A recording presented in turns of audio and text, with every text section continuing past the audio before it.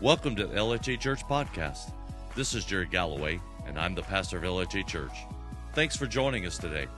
I pray this blesses you, strengthens your faith to know that God is working in your life. Enjoy the message. This morning, we are so honored to have David and Donna Delp with us today in the house of the Lord. And they're going to be coming in a few moments and they're going to be sharing with us today. Before they do, uh, I mentioned to you just a couple of weeks ago that we'd had the opportunity to come along beside Russ and Sarah Farhood, who are our missionaries in Equatorial Guinea. We have the opportunity to, to partner with them to build uh, a sanctuary building, put up to provide the steel structure uh, for that sanctuary building.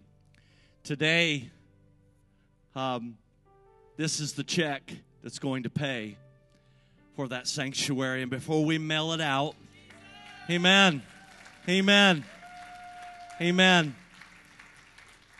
It has been through, of course, God's faithfulness. But I would say to you, it is because you have caught the vision of missions and reaching the world. It is through your giving to missions that above supporting our missionaries this year, just this year alone, we've been able to do this and provide this sanctuary. And so before we send it out, I, I want this to be the most anointed check that's ever went through the mail.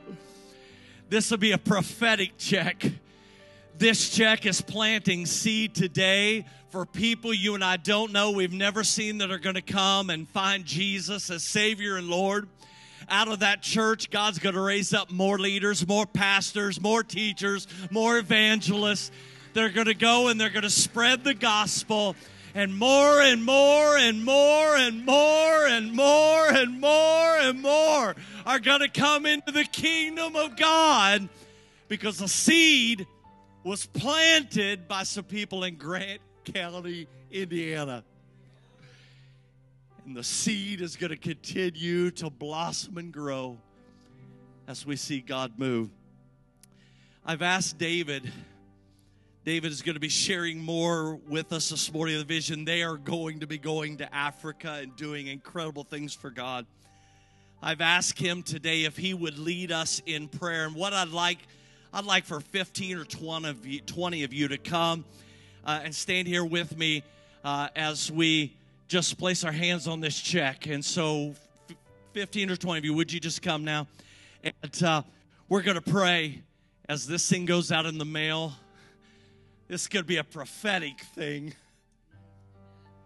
The seed sown here is going to reap an incredible harvest for the kingdom of God. You know, as we as we prepare to pray, I'll be telling a story later on about a tabernacle. Don and I have been in these tabernacles. I want you to understand what you've done. Because Africa is such a huge continent 1.3 billion people.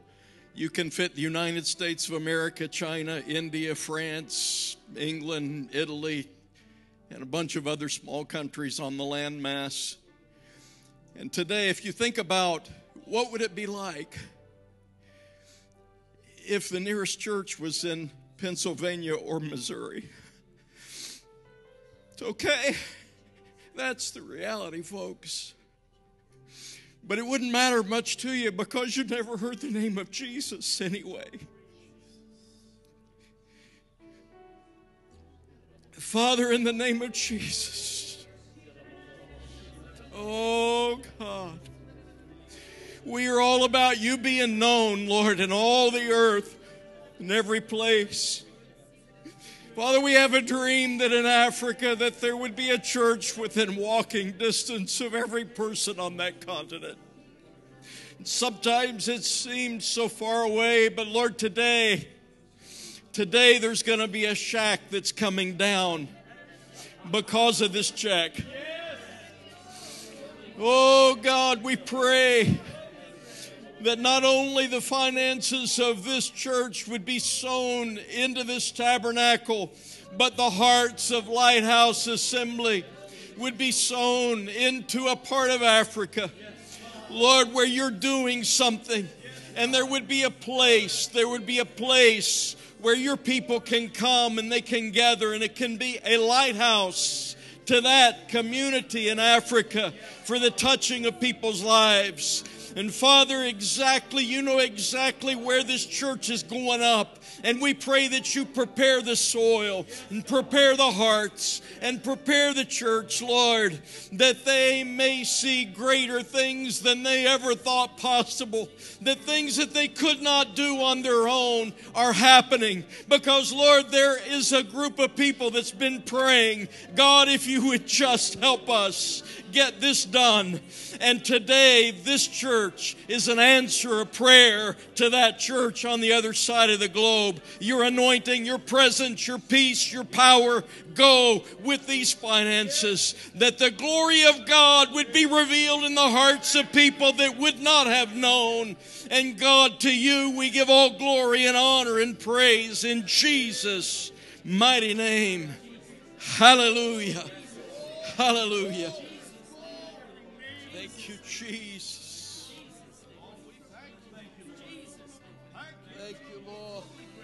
One more. One more. One more. One more, Lord. One more.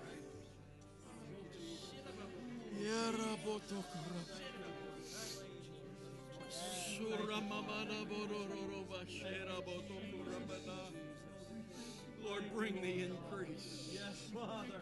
Bring the increase, Lord. Bring the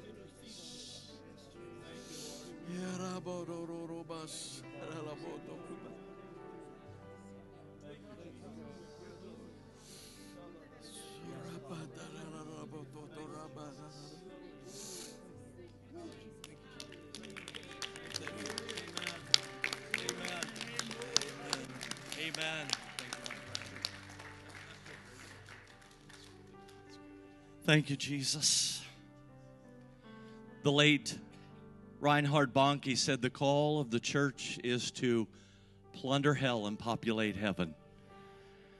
That's what this is about. One day, you and I are going to make it to heaven. When we get there, there's going to be people that are going to be there because you gave. And there was a place that people could come and hear the gospel. As I told you earlier, David and Donna, they are true servants of the kingdom. They are authentic believers. A man and a woman who have walked not always an easy journey, but they've walked a journey with the Father. And the Father's been with them through many tests and trials we have already come. But His grace sustains us through them all. And He will continue to be faithful. Father, today, as David and Donna are here, I pray, Father, your hand of anointing and blessing upon them today.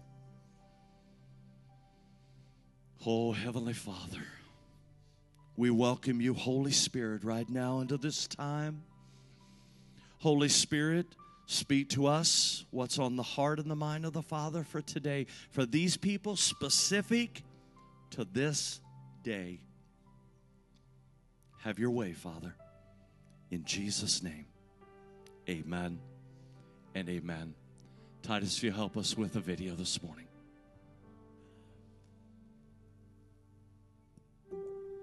Well, Donna and I both have spent more than the last three decades in ministry.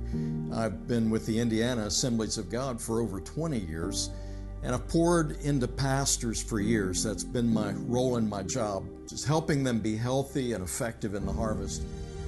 I've been in ministry for over 30 years. I was raised in a pastor's home and I served in the ministry with my husband for several years before we became missionaries with Convoy of Hope Europe.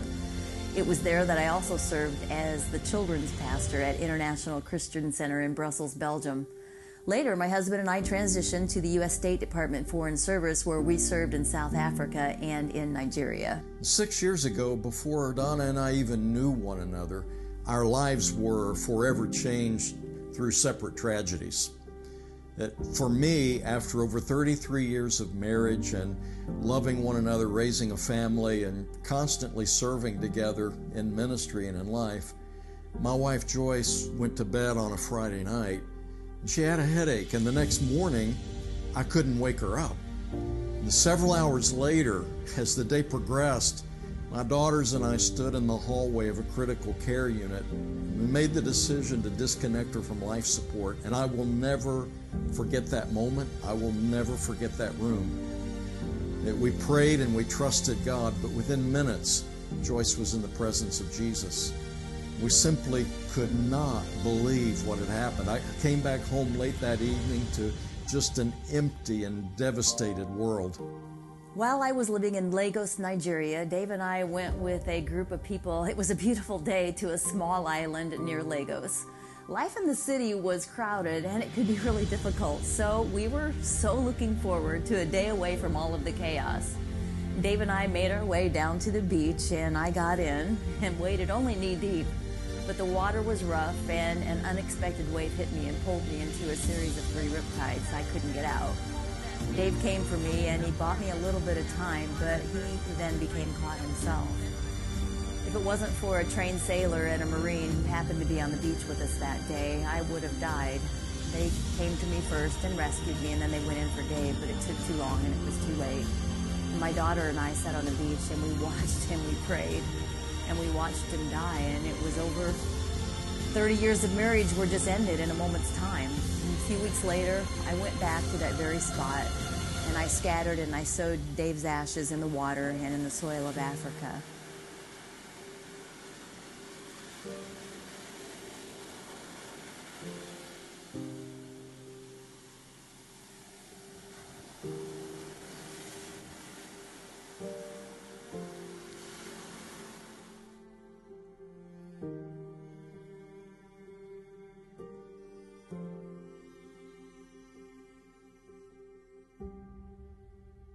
For Donna and I, after we faced the tragedies in our lives, our journeys were similar.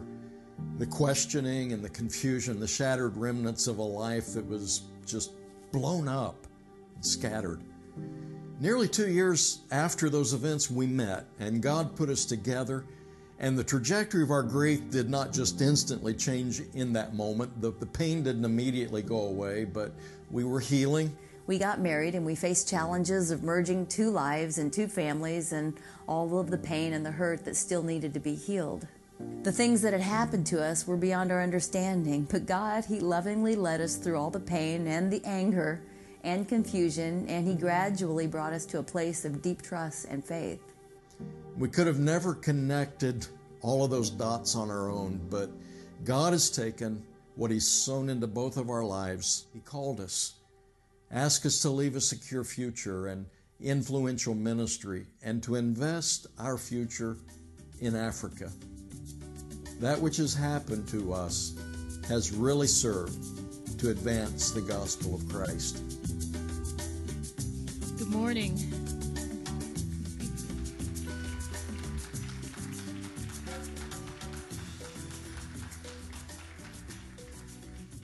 thank you for the song. It was amazing. It was amazing, and I do feel that way.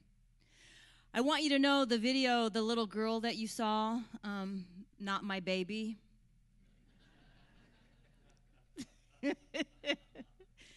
She's our granddaughter Eloise, and she was born just about one month after my husband passed away.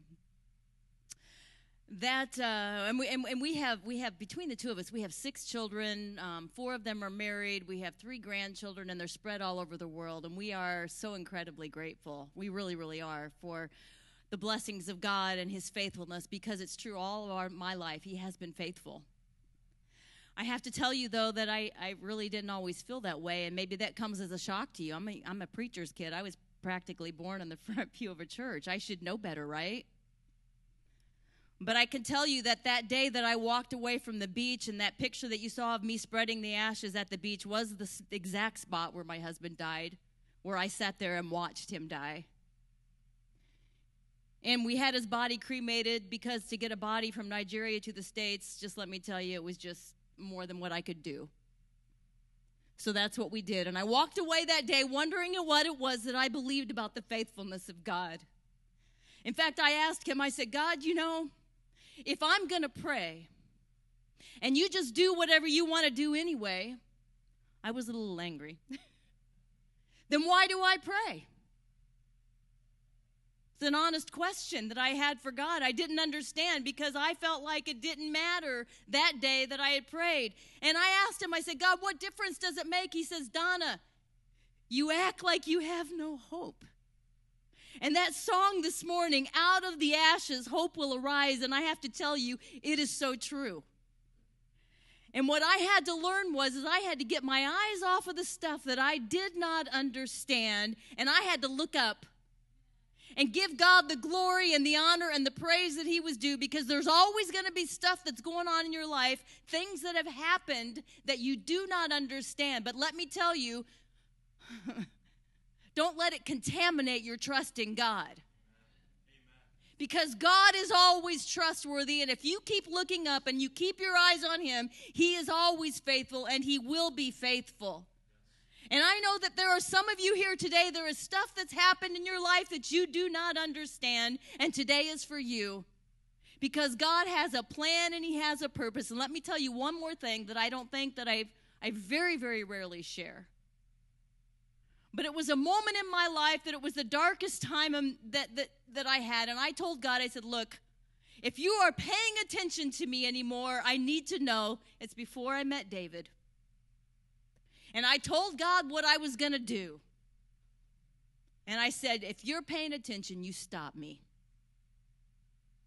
And I got a private Facebook message from this man right here that said that he had been thinking about me and God had laid him on my heart and he was praying for me. And God asked me that question. He says, Donna, you want to do it my way or you want to do it your way? And I'm thankful that he's paying attention and God is paying attention to you this morning and he is always faithful.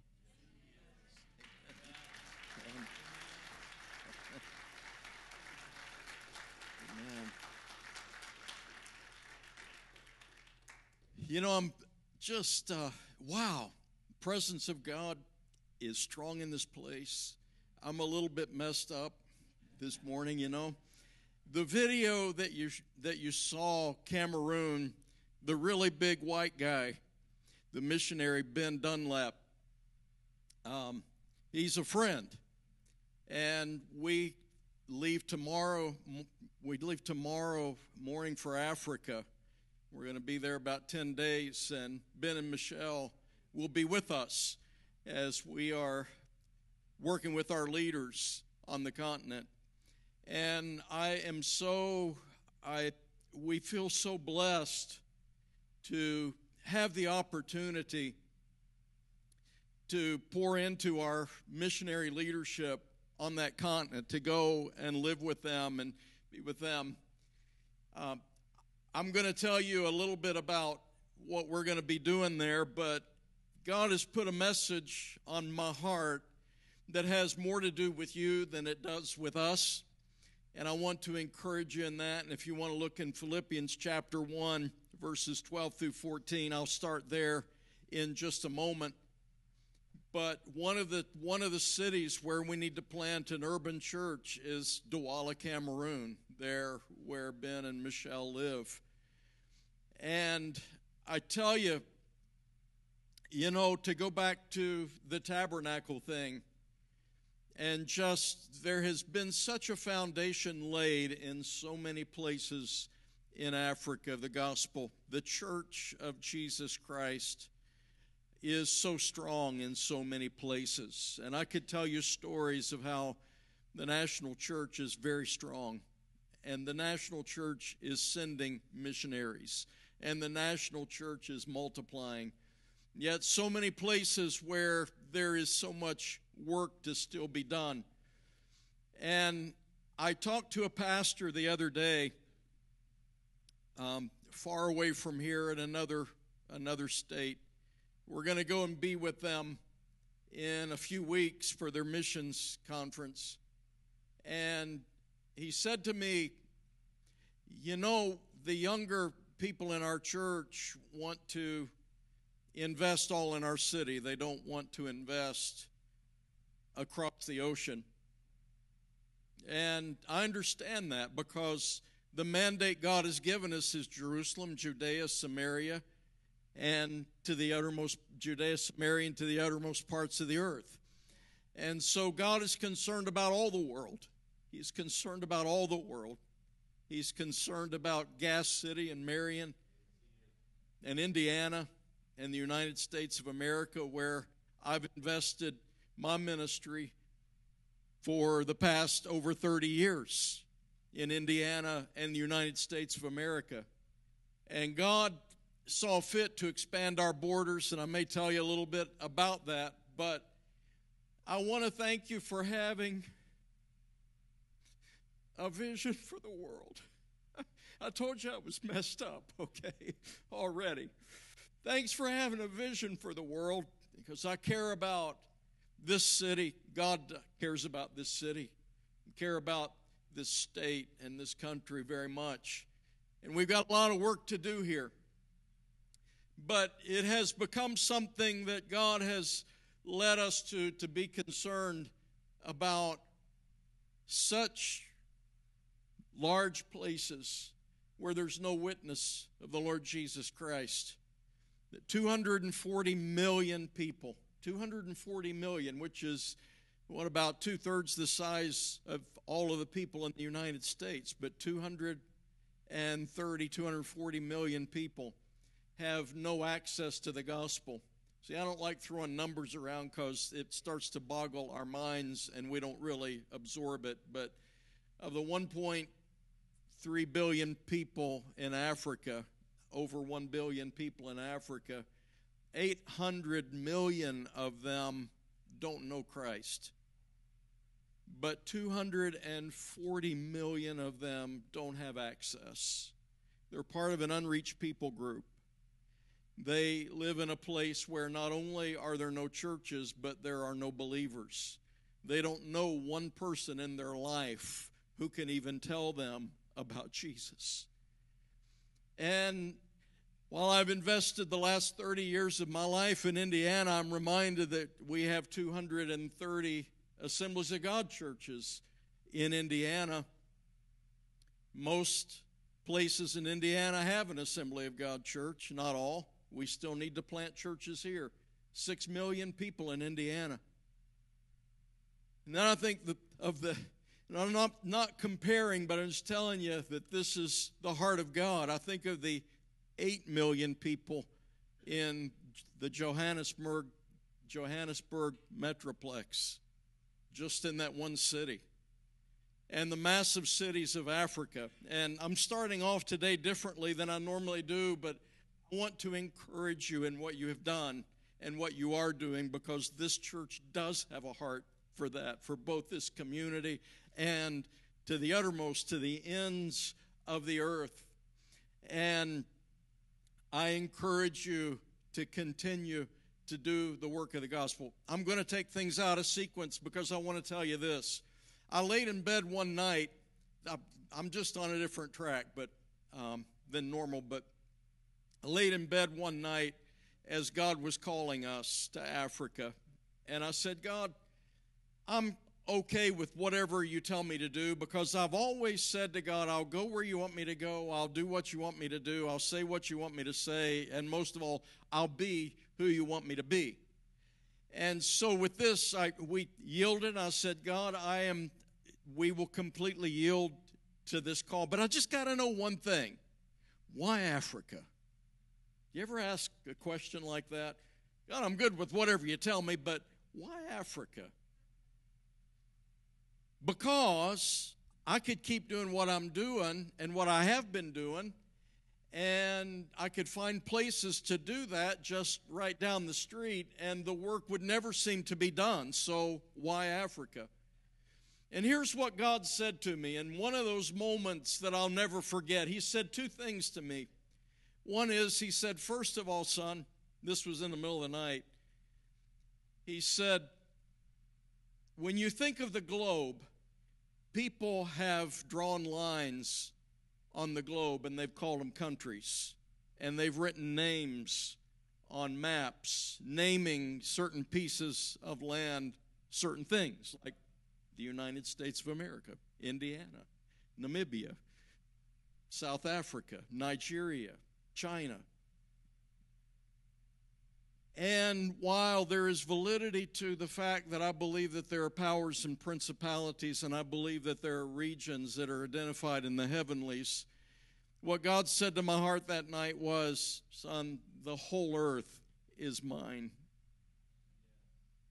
And it's my heart that the glory of God would cover the earth as the waters cover the seas. And all of the people on the earth, I care about them and I love them. And if it would be in my determination that what I have invested in your life over the past 30 or 40 years, that I can best invest that in Africa, then my question to you is why not? And I said, that's fair enough. And then you know how God always goes one step further. And He gives us value added all the time. And I could hear the Holy Spirit saying to me, and besides that, as you walk the dusty roads of Africa and through the crowded cities of Africa, you will come to know me in a way that you could not have known me in a way that you have not known me before. And it was in that moment that I just latched on because, folks, when we walk in obedience to God and we walk in the good places, the easy places, the hard places, wherever we walk, when you walk the path that God has laid out for you, He reveals Himself to you in ways that you cannot even fathom. When we respond to the heart of God, whether it be a tabernacle in Cameroon or it be sharing Christ with someone in the coffee shop downtown. When we bless the heart of God through obedience, He reveals Himself to us in ways that we could not have known Him before. Is anybody else as excited about that as I am? And when God asks you to give or God asks you to trust and you do it, He reveals Himself to you in ways that you could not even have imagined that He ever could. Jeremy, I'm proud of you, buddy. Some through the fire and some through the flood, some through great sorrow, but all through the blood. You know? John, come up here. I'm going to pull a Pastor Don. I always watch him do this, you know. I'm going to do this. Come up here, John. You know, 30 years ago, this doesn't have anything much to do with the message, but 30 years ago or more, I was a group leader at boys' camp. And when the boys arrived, I found that John Buckler was a little boy and he was in my room. You remember that, John? And we spent a week together. That's back in the days when I think the group leader was in the room with the boys, you know. And so John and I spent a week at Lake Placid at boys' camp one summer a long time ago. That was a long time ago. John, I'm proud of you because you're still serving Jesus. A lifetime right there, buddy. Love you. See, folks, it's such a joy to serve God because He does so many things in our lives. And when you get to heaven, when you get to heaven, see, I'm, I'm backloading this message, but when you get to heaven, there's going to be a lot of people that's going to want to hug your neck. And you're going to wonder what on earth is the connection. And they're going to tell you what the connection is. And many of them will be there because of you mostly because of Jesus, but because God worked in you in your obedience. And after you enjoy meeting a bunch of people like that, you're going to look for Pastor Jerry and Paula. You're going to look for Pastor Jeremy, and you're going to look for other leaders in this church, and you're going to say, Thanks for taking up all those offerings. Thanks for challenging us to do stuff to advance the kingdom of God. Why didn't you do more? You should have took up more offerings. That's what's going to happen. Do you believe that? That is exactly what's going to happen. Because what farmer sows half of his field trying to save seed, and then when harvest comes in, he's thinking, Well, I'm glad I saved all that seed in the barn. He's thinking, Man, I should have planted the rest of this field. This is a good harvest. So I encourage you in that, folks. Well, that's part of the message that I was going to preach. Now, let me go back to the beginning of it and fill in the blanks, all right? In Philippians chapter 1, verses 12 through 14, Apostle Paul is in prison for preaching the gospel. Now, note first of all, he's not in prison for doing bad things, for killing somebody, for stealing something. He's in prison for preaching the gospel of Christ. In our estimation, an admirable thing to do. And sometimes, folks, we do all the right things and we still end up in prison or we still end up persecuted or we still end up suffering a bit. But see, the measure of whether or not you're doing the right thing is not in what you experience. Hey, this is good. I hope that Donna writes this down. the measure of whether or not you're doing what you should do is not in the experiences that you have, but it's in whether or not you have been obedient to what God has asked you to do. And so this is Paul's situation, and he says, I want you to know, brothers, that what has happened to me has really served to advance the gospel, so that it has become known throughout the whole imperial guard and to all the rest that my imprisonment is for Christ. And most of the brothers, having become confident in the Lord by my imprisonment, are much more bold to speak the word without fear. I want to focus on that verse 12 where Apostle says, I want you to know, brothers, that what has happened to me has really served to advance the gospel. The reason Donna and I are still telling our story, and the reason we put it on video is because we can tell it faster and we don't have to personally tell it again. But the reason that we're still telling this story is it is integrated in the reason that we are going to Africa. And some of you have been through worse things. Some of you maybe not such bad things. But there are still things that have happened in your life there are things that have happened in your life that, when submitted to Christ, He is able to return beauty for the ashes of the things that have happened. And you know what I love about old saints? Is if you sit down with them and they start telling you the stories, you hear that arise. This is the faithfulness of God. He has been faithful all the way. He has blessed my life. And you know what? It's like we develop a selective memory. we begin to focus on what God has truly done in our lives. And so, folks, there are the difficulties in our lives, the hard things in our lives, the things that have happened in our lives. And then there are the good things that have happened. I mean, this church is building a tabernacle. Is it in Cameroon or in Equatorial? Okay, it's in Equatorial. See, you're building a tabernacle there. But the good thing that you held in your hands was the finances that you could give to that. See? And so God blessed you so that you could participate in His work in a unique way. So there's the tough stuff that's happened. And then there's the blessings and the skills and the resources. For Donna and I, there are things that we have learned along the way as we prepared ourselves to minister to leaders and churches. We learned things along the way. And one day God popped up and said, You know, this is really cool, except I kind of need that skill set in Africa. Well, okay then.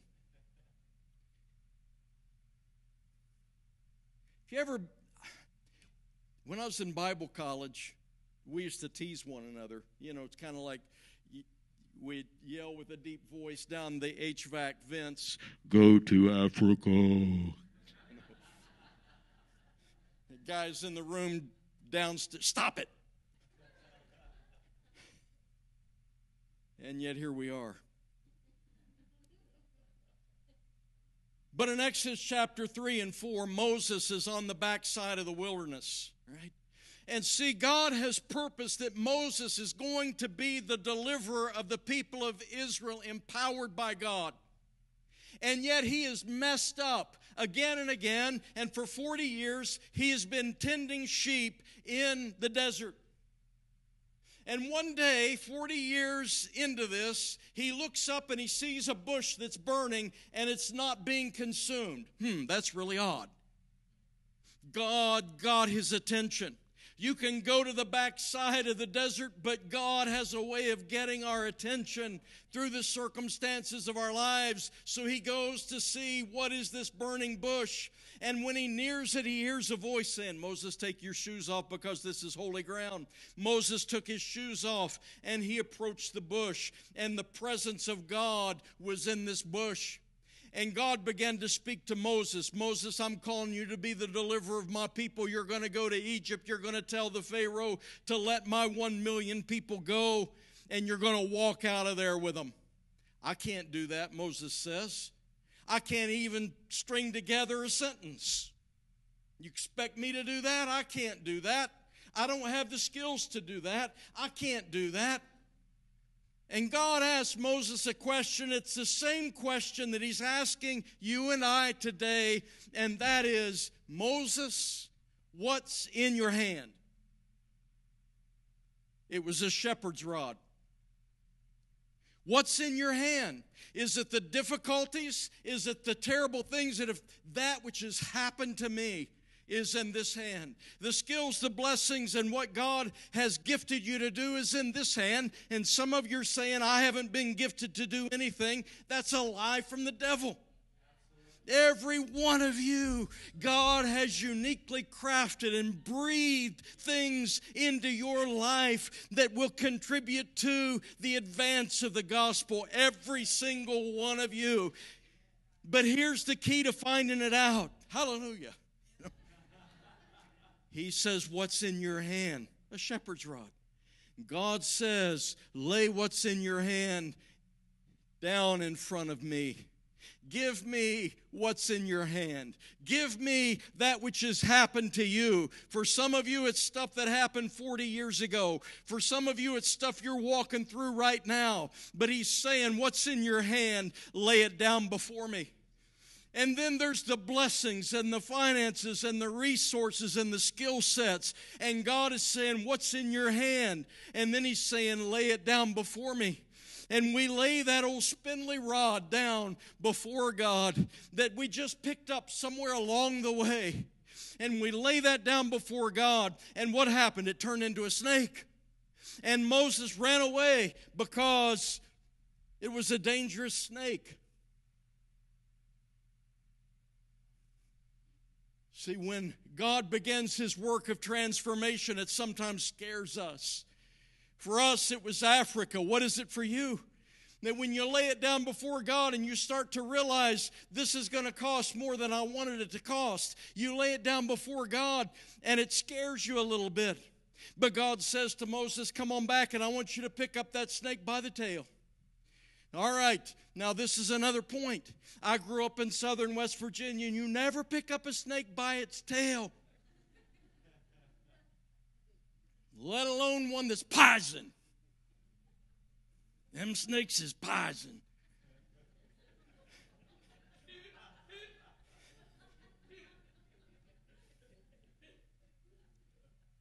Never done that before. See, we were we were in the Appalachian district where I grew up. Donna was with me, and we were touring the district, and you know the places, and my dialect started coming back. My um, accent, um, colloquialism started coming back, and she like, "What are you talking about? Who are you, and what happened to the guy I'm married to?" I couldn't help it. But anyway, he reached down and he took a hold of that snake by the tail. Now, what does this mean? It means that when you lay it down before God, the way that he puts it back in your hand isn't always the way you expect. See? We got to be willing to let God be God and move in the circumstance and say, Now, I ain't going to pick up that thing by the tail. You got to walk with God. He reached down and got a hold of that snake by the tail. He picked it up and it turned back into the rod. And God said, Moses, this is how we're going to do it. You just lay down whatever it is in your hand in front of me, and I'm going to do whatever only I can do. And then, with obedience, I want you to take it back and do with it what I tell you to do, exactly what I tell you to do with it. Man, you guys messed me up this morning. The whole thing.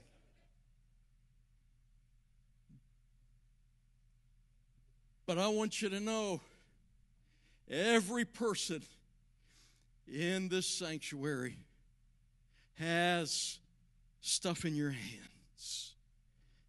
And when you lay it down before God, He does awesome things. I've changed her name because it's just easier. That way I don't have to ask if the service is being streamed. Changed her name to Tombi. Tombi was a little lady. She is a little lady. In a village in Africa of about 700 people that's inaccessible by automobile. By the way, anybody here ever give to Speed the Light? I saw one in 5,000 shirt down here.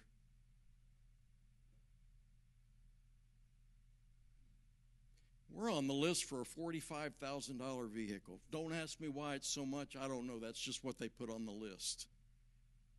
But it's because we got to get places that cars won't go, see? Got to have some four wheel drive going. I want one of those snorkels. It's an add on, you know? I want one of those snorkels and I want a bush guard. We're going to be in the cities a lot, but I still want a snorkel and a bush guard. They probably won't give me one. But you know, she lived in a village of 700 people, inaccessible by automobile. And she became lame, unable to really walk. She was a single mom, a little girl, I believe that it is.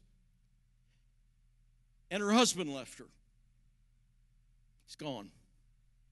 With no means of really supporting themselves, she went to the city, Maputo. She goes to Maputo to build a life, to look for work, to somehow piece things together. And when she was in Maputo, she became connected with some people. And she became a part of an Assembly of God church in the city of Maputo. Tombi came to Christ. She began to know Christ in incredible ways. Her life was transformed. She was so moved by Jesus.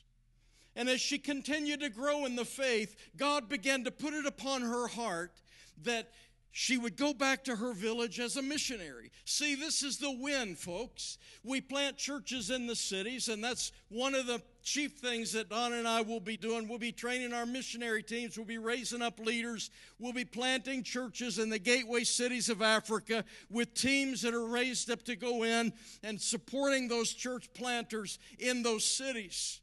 But see, the reason it's so important to have a church in the city is because Africa is urbanizing faster than any other place on the planet. By 2030, Africa will be 60% urbanized. The people are moving into the cities, not just from their own country, but the countries all across Africa. They are migrating to the largest cities on the continent. Tombi became to know Christ. A passion, fervent for missions rose up in her heart, and she decided that she would go back to the village that she came from.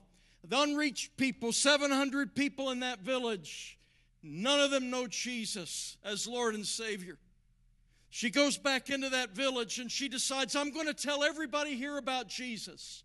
Now, in case you haven't connected the dots, if in any way, shape, or form we say, God, I can't do anything for you, yeah, well, you can actually. She decided to tell the entire village about Jesus. She went to the first door. She knocked on the door. The door opened. She began to tell them about Jesus. They slammed the door in her face. They didn't want to hear about it. She went to the next house and the same thing happened. The next house, the next house, day after day, week after week, month after month. She had been at it for one year and not one person had come to Christ. Not one person responded favorably. So she sat down under a tree near the center of the village and there were some children playing. Jerry, I get to go to Africa, man. I get to go. I get to go. She began to tell the children about Jesus. She told them Bible stories of Jonah and the whale and Daniel in the lion's den, and Jesus walking on the water. And the children loved the stories. They said, Oh, Miss Tomby, tell us more stories. She said, I will, but your friends, they will want to hear the stories too. Go get them and I'll tell you more stories. This went on for a little while, and most of the children in the village were gathering together. And you know what happens? The moms come to see what's going on. And they stand on the perimeter of the gathering and they hear the stories too. And they begin to ask Jesus into their hearts, and their lives are transformed. And then before long, the men start to come. And they too accept Jesus. And almost everyone in this village comes to Christ. Our friends go to the village, hearing of what is happening. And while talking to Tomby, he sees a man walking down the road with a regal stride. And he knows this is the chief of the village, and I'm probably toast. Tomby saw the expression of worry upon the missionary's face, and she said, Oh, don't worry, he is one of us.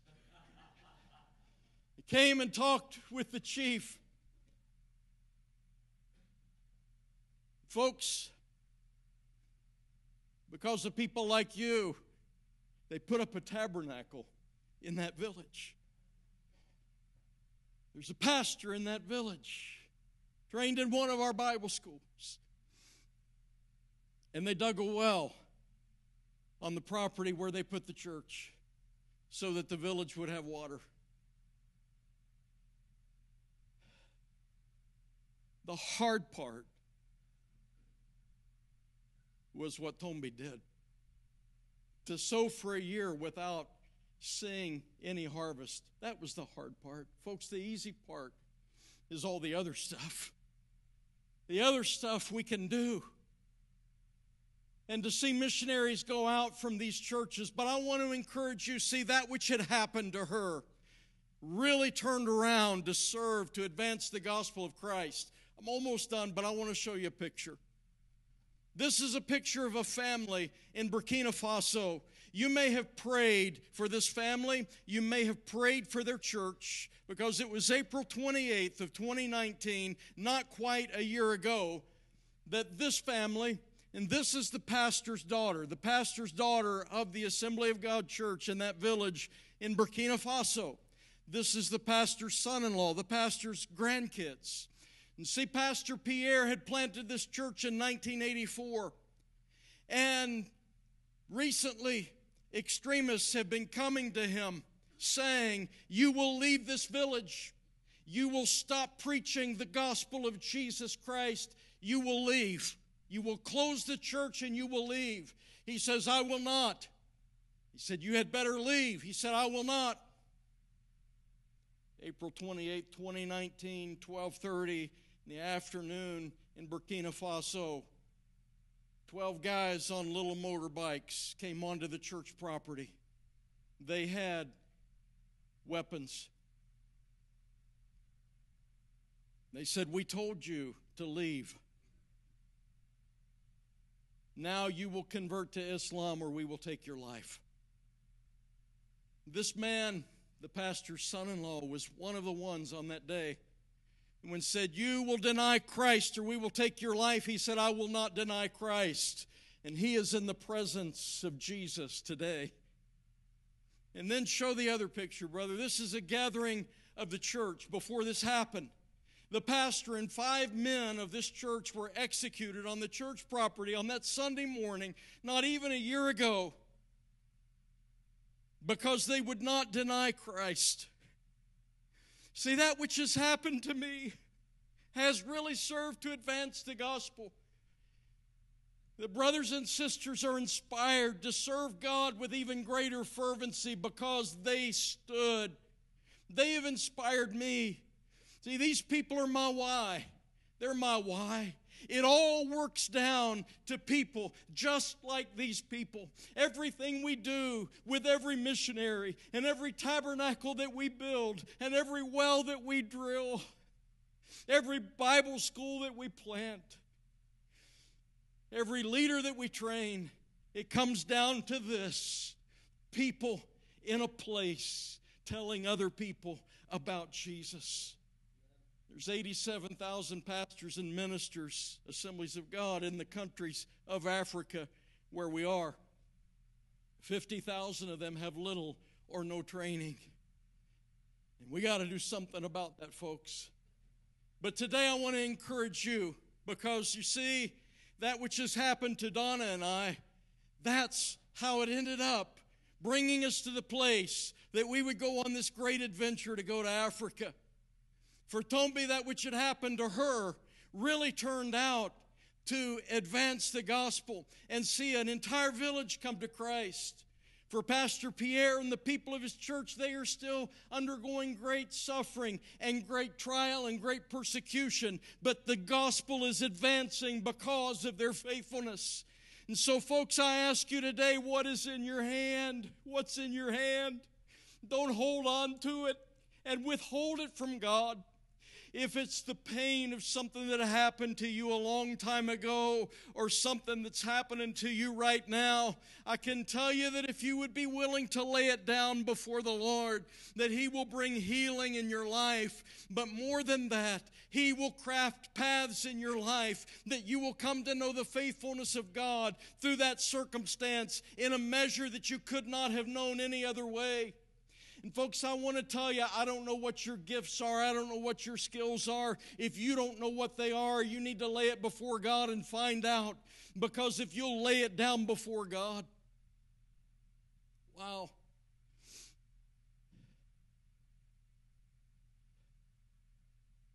When we started this journey, God said, I'm going to do this through people and through ways that you did not anticipate. See, I thought all I thought that there would be several big churches that would just do a ton, you know. But God has worked this out. We started out with a rather large budget. We're 85% of the way there. This is happening. It's happening. Thank you for partnering with us, folks. It means so very much. There's the Lady and Adult Teen Challenge.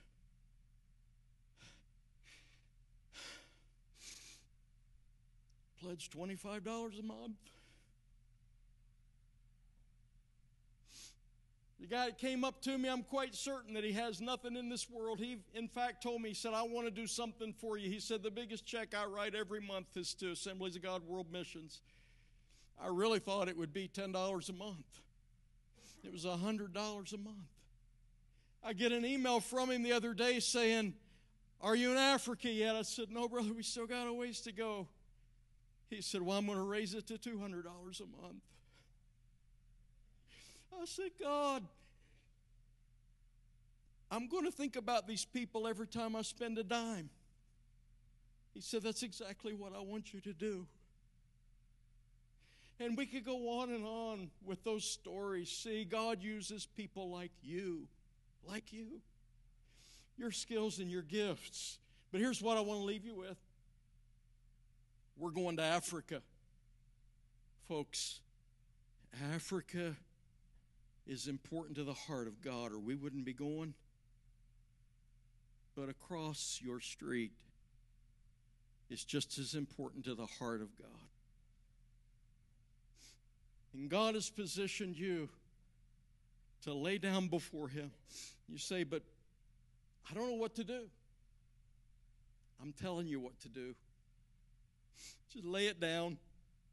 I don't know if he'll turn it into a snake or what. But just lay it down before him and let God do what he does. Amen. Amen. Let's pray. Father, in the name of Jesus, as we give this to you, Lord, we lay it out before you. This is not about David and Donna being obedient going to Africa. This is about everybody in the house being obedient to the call of God in their lives. Folks, I'm prompted right now. If God's speaking to you about missions, you can talk to us afterwards. God's talking to you about going to Africa. He's talking to you about going somewhere in the world.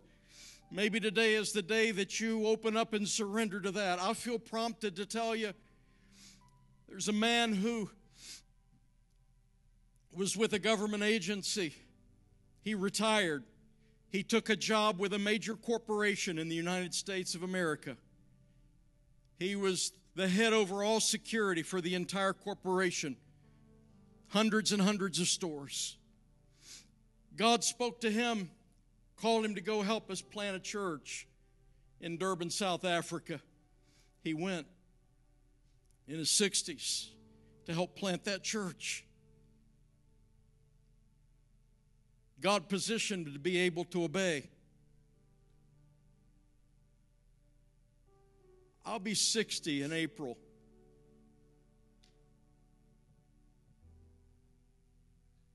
Sometimes I think I'm getting too tired to go traipsing around a continent. But never once did God ask me how old I was.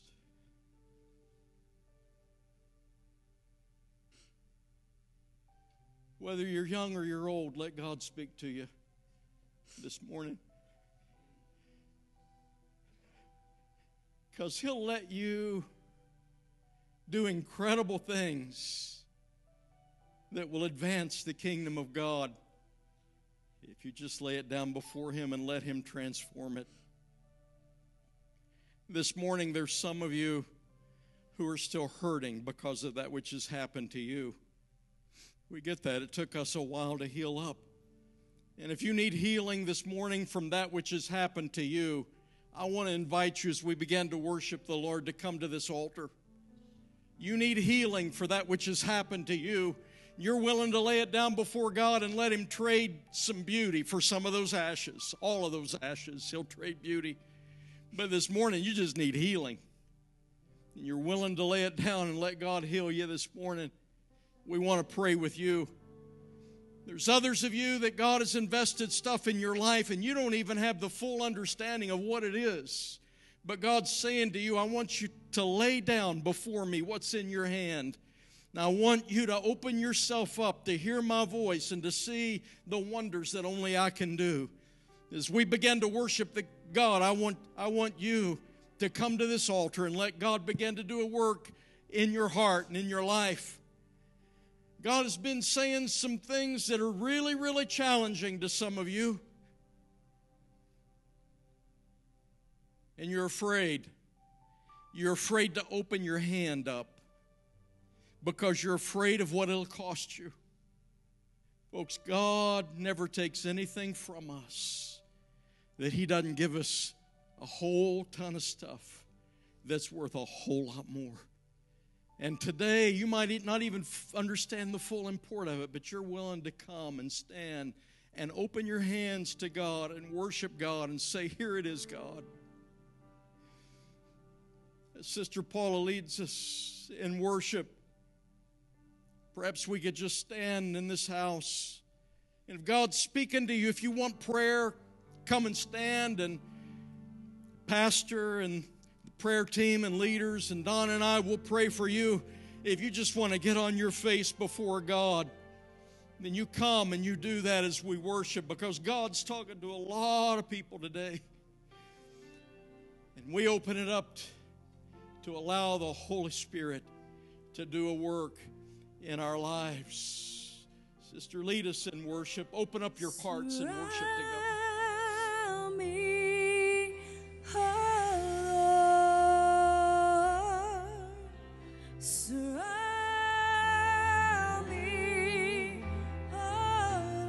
Let this pass you by without jumping in, folks.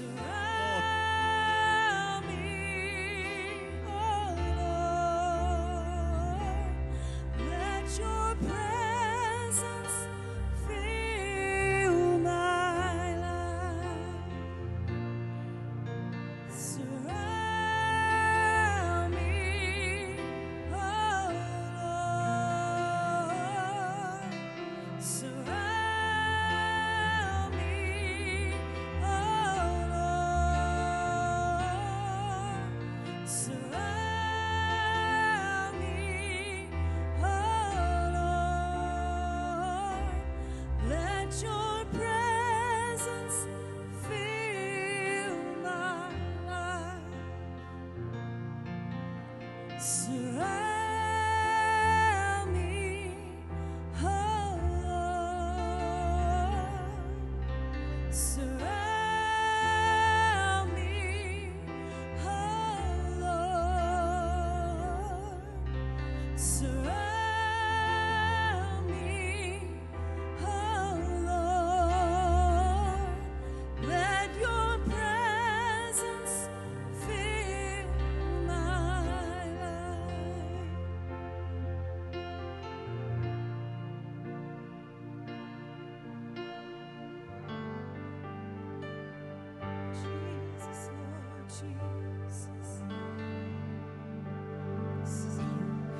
I want to pray prayer over you.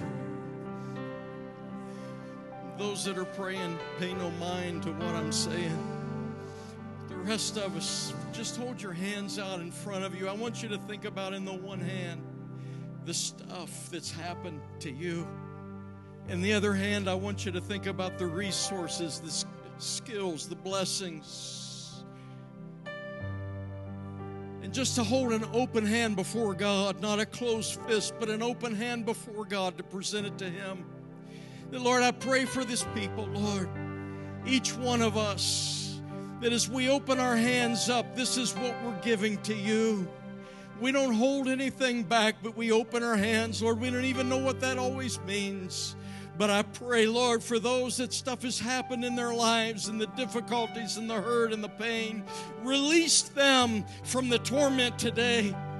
And Lord, bring them into a place where you can do beautiful things in their lives. We trust you for it. God, we don't even need to escape it. We just need you to take it. No, God, we give to you. You are speaking to people, Lord, about ministry. You're speaking to people about sowing into the harvest field with stuff that you've put in their lives. Some of them are thinking, God, that's not worth anything. But Lord, I pray that you give them courage and boldness and strengthen them in their resolve to give it to you anyway, to see what you're able to do. Your blessing and your anointing upon the people of God. In Jesus' name. Thank the Lord. Jesus. Jesus.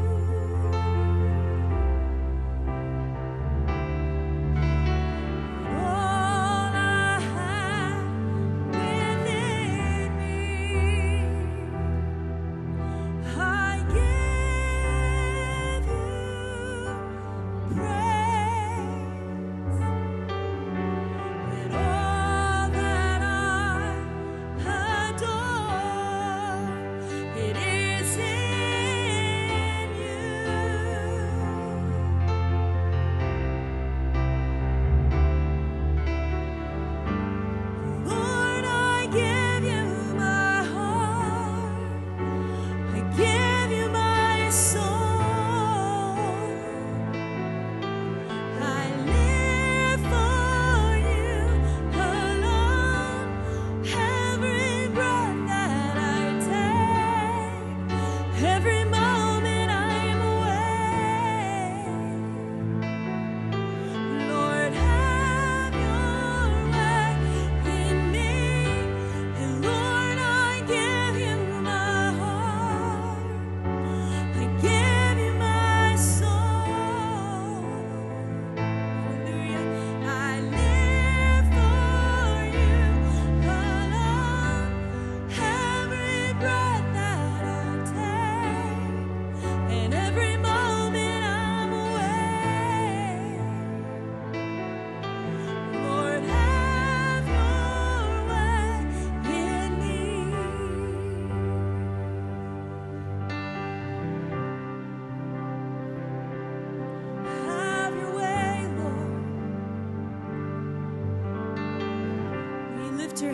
across the house to Jesus.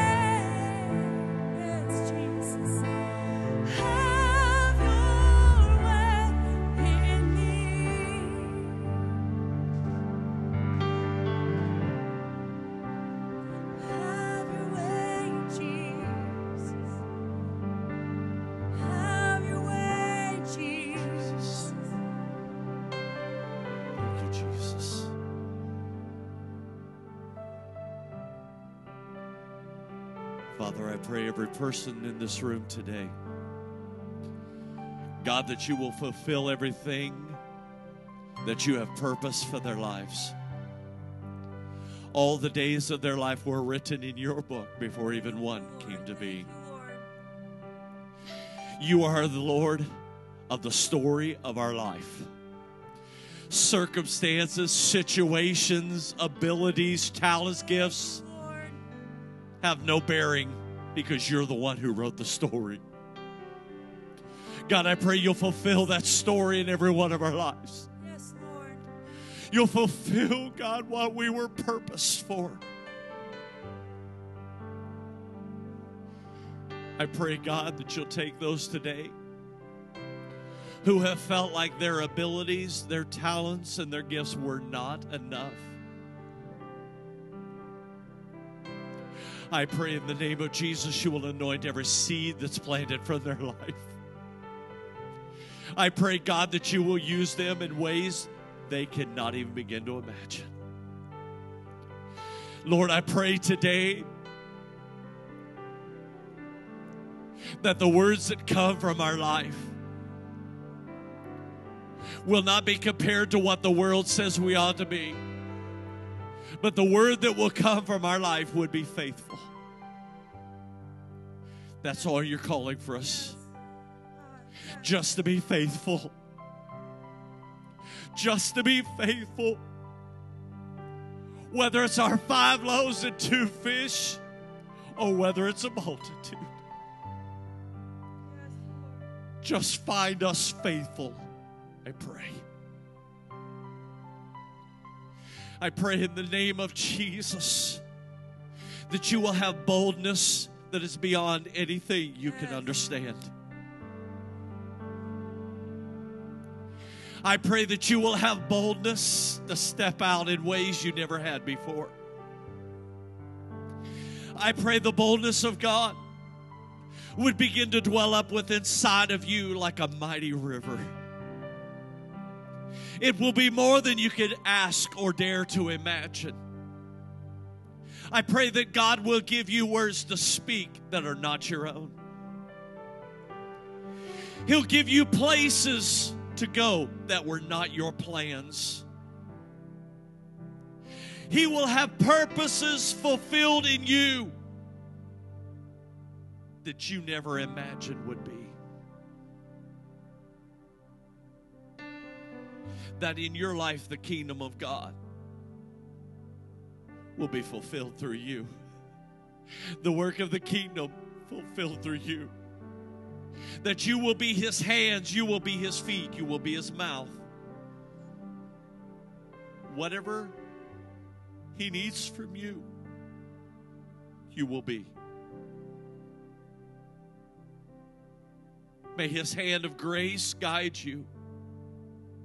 May his Holy Spirit empower you.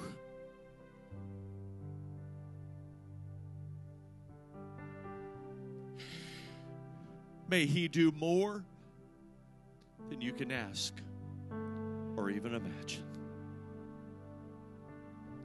Father, I pray you will fulfill your word to the lives of these your people. And I pray you accomplish everything that you have purposed through every one of us. For all these things have worked together for the furthering of the gospel of Jesus Christ. And Lord, we say, Amen. So be it. In the name of the Lord. So be it. In the name of the Lord. In Jesus' name. In Jesus' name. In Jesus' name. We love each of you and we're so thankful to serve in the kingdom with you. I believe God is up to something. Whew. More than you and I could ask or imagine. May He bless you. May He give you strength. May His joy always be the strength of your life. God bless you today. May He go with you. God bless. Have an incredible day in the Lord today. God bless you.